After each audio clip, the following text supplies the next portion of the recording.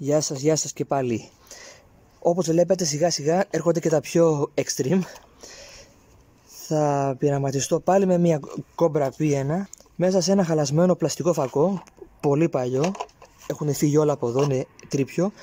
Και μέσα πάλι σε ένα, ίδια η γουρούνα θα μπει εδώ, σε ένα πλαστικό μπουκαλάκι.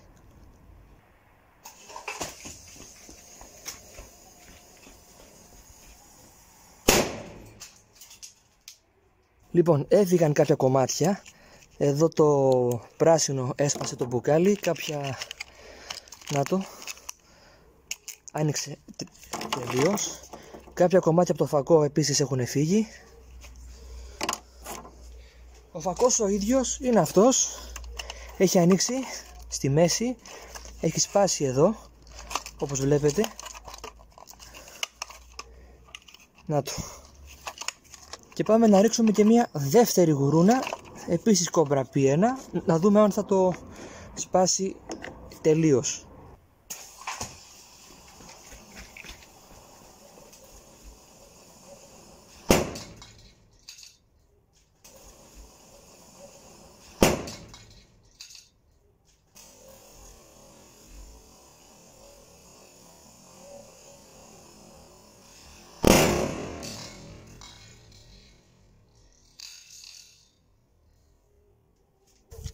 Αυτό έφυγε τελείως, αυτό έφυγε τελείως.